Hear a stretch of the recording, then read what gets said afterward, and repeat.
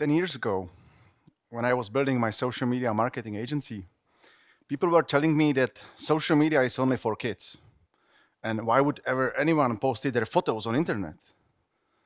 You know, now I'm invested in gaming and everyone is telling me the same, that games are only for kids and why would ever anyone wasted their time playing video games? Gaming will be shaping our future. It's already overgrown music and movie industry combined. Even Louis Vuitton handbag for your favorite character costs more than the real Louis Vuitton. Or Among Us, recently popular game, have, has 2.5 times more users than Netflix has subscribers. Now we understand why Amazon or Netflix will push their efforts towards gaming. Most of you have this unhealthy image of gamer in front of their heads, right? Like imagine the worst you can, like bad habits, going to sleep, you know, all the junk food you can imagine, all wars. But it's not true anymore.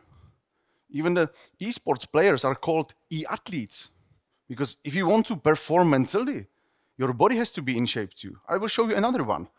This is Kevin. He's professional Counter-Strike player.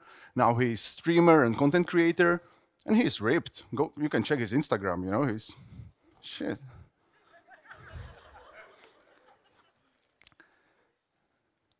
You know, we are gaming more, and we will be in future. The problem is the habits we create between the age of 18 to 25 stays with us and affects us for the rest of our lives. Gamers are specific sort of people. They have weird habits like going to sleep after 2 a.m. and so on. But they are also pioneers. It's about immersive improvement of the character, their characters. I always ask myself when I'm playing some video game why I level up that character instead of leveling myself in the real life, like doing some push-ups. You know, immersive is the important word. Like gyms are not that immersive.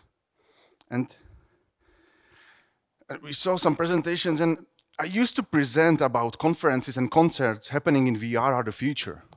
But I was wrong. It's not the same. It's an only experience in the new environment. Like, this is how you imagine the metaverse will look like, but this is how it will truly look like. That very well known environment of games succeed. Fortnite concerts are, are, attended by millions of people with their favorite characters and skins and, you know, all that stuff around. And metaverse is something that we'll be living in soon. Well, honestly, I'm not sure if it is closer to Marvel Multiverse or Matrix, but one thing I'm sure that the thing how it's developing, it's not sustainable. Gaming is the most demanding activity or computer activity. And gamers want to improve. They really want to. They want to be better in the game, in the real life, but they don't have allies. Esports teams are slowly adopting health, like, you know, super, these best teams have their nutritionists, fitness coaches, and whatever. But these gaming events are still sponsored by, I can say, junk food, like sugary energy drinks, chips, or candies. And also gaming companies. They want to play us more. And they are, get, and they are being better and better at it. And even esports players, data shows that like average professional esports player will end up their career or retire around age of 25. Maybe they got married or set up the family or just got the proper job.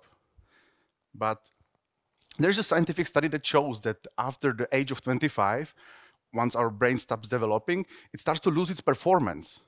It's approximately like one millisecond or on one minute of the reaction time per year.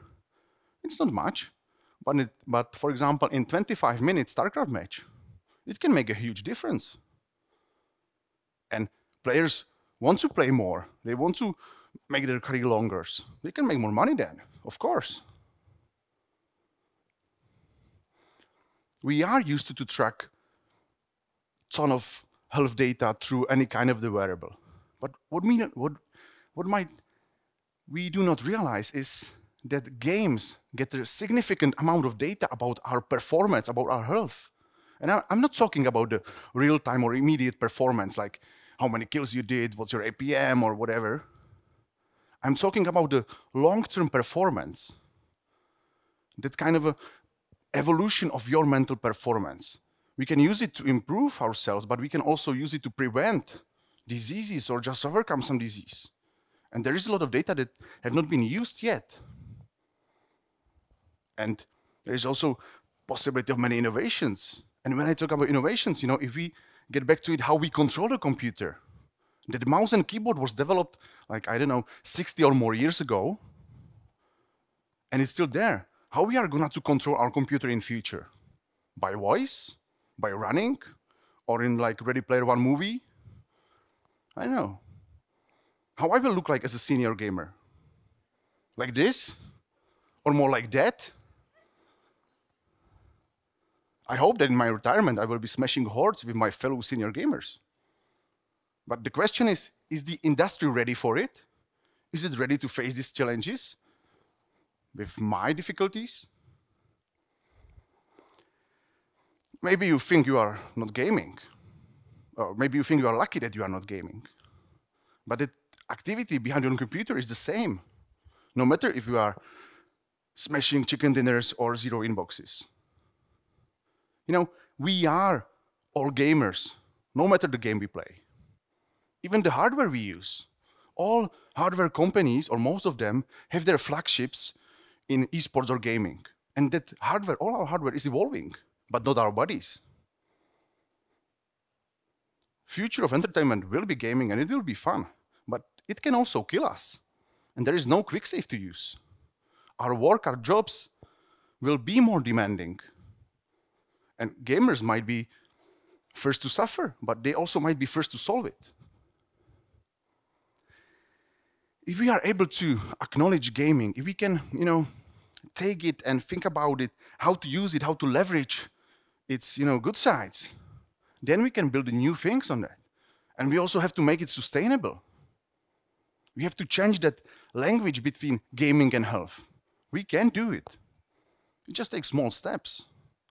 Like, one advisor once told us that health does not sell. And he was right. We learned it the hard way. But you have to change the language. Like this. You know? I devoted my life to social media, and what I'm seeing is the world becoming more and more fragmented.